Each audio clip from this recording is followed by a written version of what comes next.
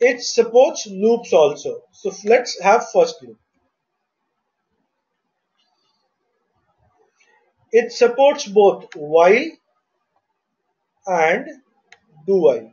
Anyone tell me what is the difference between while and do while? Yeah, while we'll check the condition and we'll execute the loop. Yeah, so if condition is true, without checking the condition. if condition is true, then only loop will execute. If condition is false, what will happen? It will come out from the loop. Yeah. So that we call it do while will at least execute one while I don't know. Okay. Okay. Yes. So let me, if I can show you that is while, same way you can use do while.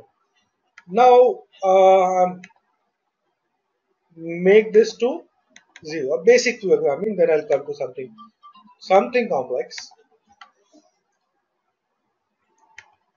If if user number is less than 5 this body i want to execute see in body i you can do what you want yes or no so i'll say user number dot now but if i leave this as it is what will happen this will become an infinite loop. Why? This condition will remain always true. That means what i need to do it? I need to remember inside the body. See automatically sequence got added. Yes? Straightforward what i need to say?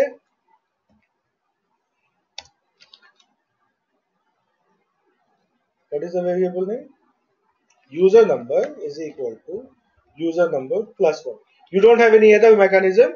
You have to do plus 1 run this. And output will be.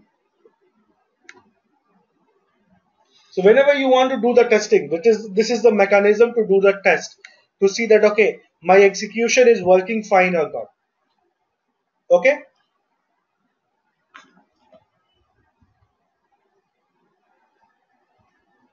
okay? Any doubt please. It's a very small example of the same program what we do. So you have to write a condition. Based on condition your loop will execute.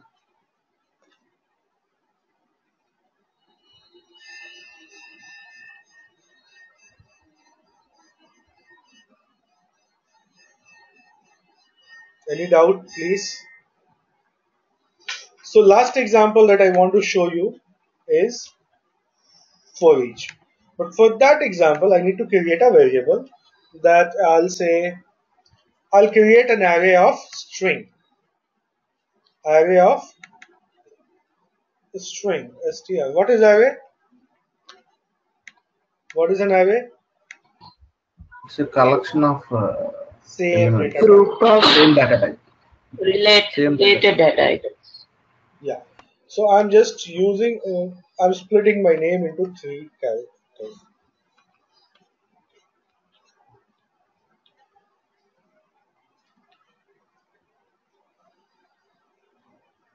Okay. This is the way in the normal programming also we declare an array. Now if you want to iterate through what we can use?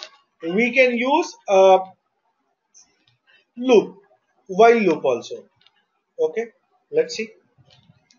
Let's see this example first with the while loop then but before the while loop what i need to know? I need to know the i need to know the how many times the array will work. Okay so i need a loop counter. I need to know how many times the array will work. So in that condition what i need? So everything you have to do it. You have to use an assign function. Okay and then you need to say str array dot count. What is the meaning of count? And where i'll store.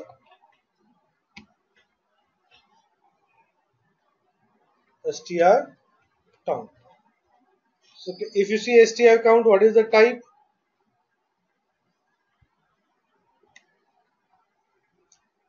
Generic value. You know that i don't want generic you can change it. Now what you can say a condition? You can say what? A condition? What is the what what condition i'm going to write? While counter yes yes or no? Guys user num is my zero. User number is less than what? Str array yes. And then what I need to do? Write line in the body and I can say str array of of user number. And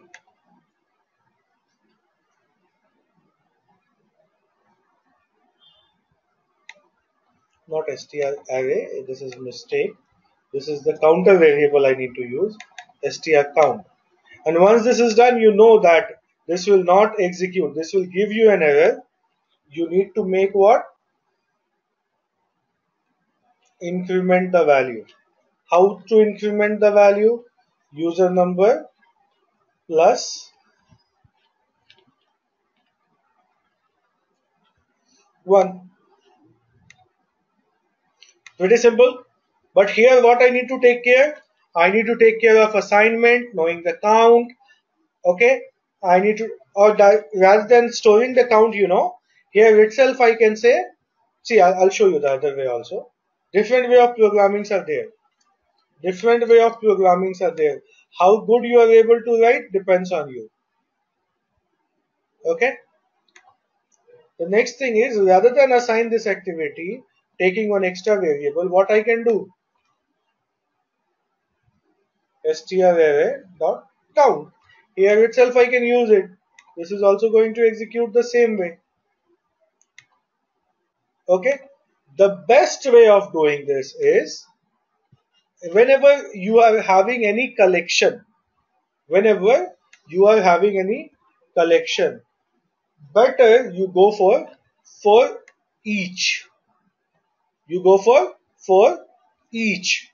Okay the good thing is here just you need to mention the collection. Automatically it, the item will be kept into for each loop now there is a catch here. Just go to the property. By default it is an object. And we know .NET in .NET object is the biggest type. Object is the biggest type. Okay so what will happen in this condition? Sometime it will not work. Hello? Sometime this will not work. So what I need to do? You need to go and change the type item dot to string. See just I put this value. So what it will do for each? It will iterate through each and every item and put into the item variable that item variable you can use for writing. But as I told you if some of the functionality will not work on item why? The item is of type object. You are always free to go and change the type. Any doubt? So either you can use while or you can use for each but whenever there is a collection collection means what any type of collection. It may be array it may be collection of classes it may be collection of elements it may be a list. Always we prefer for each any